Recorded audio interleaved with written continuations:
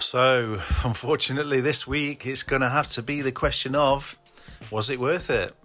Pizza Hut, you'd expect it to be, wouldn't you? But we'll see.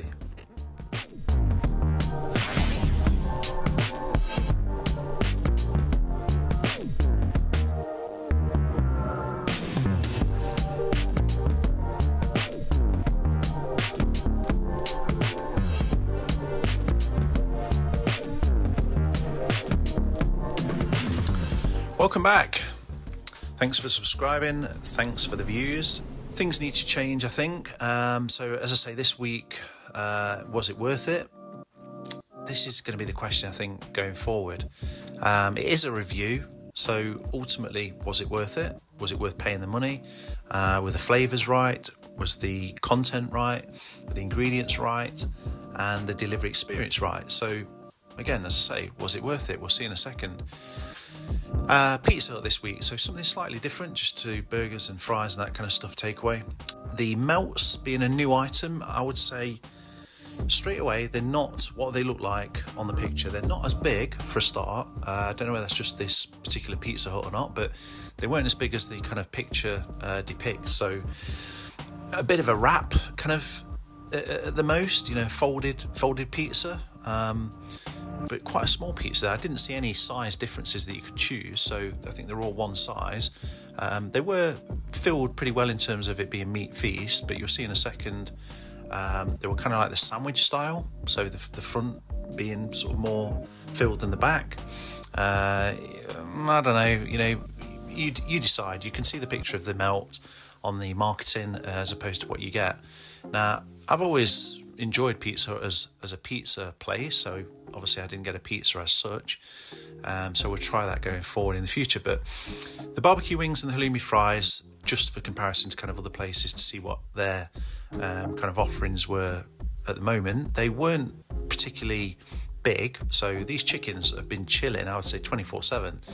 They have not been putting any muscle mass on. Um, skinny, flats, and they were all flats as well. But the chicken itself was cooked well, uh, had good flavour, good depth of flavour.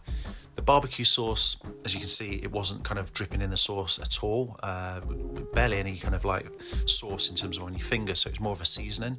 But they were really nice. Uh, quite say, like I say, quite a, a deep flavour um, and cooked well, kind of a bit more of a charring on them. The halloumi fries, um, I would never order again. Like I love halloumi fries, don't get me wrong, but these had almost nothing in them. They were like a fry in the middle, as in a McDonald's size fry in the middle, with the batter and the coating on the outside that kind of stayed its shape or kept its shape rather, and the halloumi shrunk in the middle, which is inevitable. But they need to sort this out because you're paying a fair amount of money although there was five, and you're getting like half of what you should get. So I'm not rating the halloumi fries at all. The melt, as you can see there, the top is very, very thin, and the bottom's kind of a little bit thicker. Um, but it was a crispy, like a you know, sort of a folded wrap that had put, been put in a grill. Um, I, I just can't see how you know it's a new item, so you'd have thought they'd have put more effort into them. And you know again they're not cheap for what you're getting you know 10 pound i think it was or 9.99 um, meat feast so more ingredients um, than probably the you know the others the, the three cheese or the the mac and cheese. Um, mac and cheese probably would be quite nice but again it'd probably be quite soft um, in terms of the dough is soft as well so the contrast of, of a firmer filling or topping um, I think contrasts well you know if you get if everything's soft it kind of becomes a bit mushy so it was a nice, you know, as I say, nice flavours. Um, the ingredients were still the same as you'd get on a normal pizza mozzarella, cheese. Cooked well, probably could have been a lot hotter, so I think they probably sat for a little while. Um, but I'm, I wouldn't have them again. I'd have them as a, you know, to taste a new item, but that's that's probably about it. Um, crispy on the outside, probably a little bit too crispy. Uh, probably more of like a lunchtime item. So overall, wings aside, which I'd still give seven or eight out of ten for the flavours, overall, as you'll see, 5.5. That's the lowest rating I think I've given any uh, restaurant at this point, but it's just above average. You know, the pizzas themselves, probably fine.